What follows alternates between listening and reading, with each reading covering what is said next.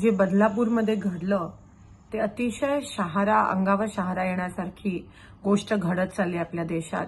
चार वर्षांच्या मुलींवर हा जर ह्या प्रकारचा अत्याचार होत असेल तर एक समाज म्हणून आपल्याला मान खाली करण्याची वेळ आली आहे.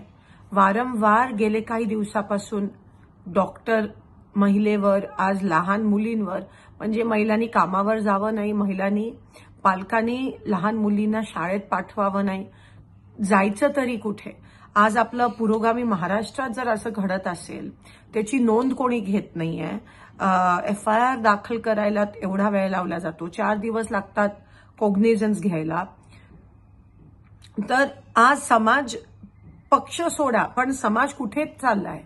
आणि मला एक सांगा जर जेव्हा गुजरात सारख्या ठिकाणी जेव्हा काही रेपिस्ट ज्यांनी महिलांवर बलात्कार केलाय जेव्हा त्यांचा हार त्यांना हार तुरे घालून त्यांचा स्वागत केला जातो त्यांची पदयात्रा काढली जाते तर ह्याचा परिणाम समाजात काय होताना दिसेल?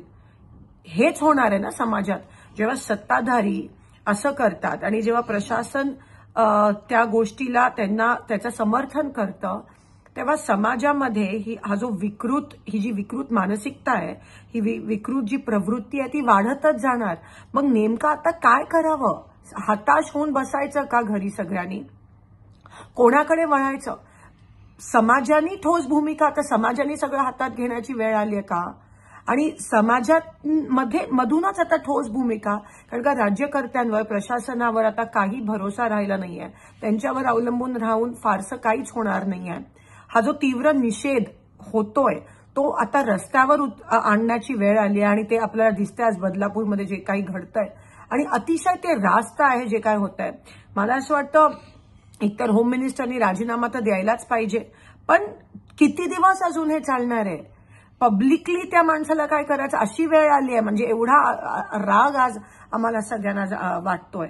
आणि फास्ट ट्रॅक कोर्ट्स लवकर होऊन जेव्हा नोंदच होत नाहीये तेव्हा ही मानसिकता अशी विकृत मानसिकता वाढतच जाणार आहे.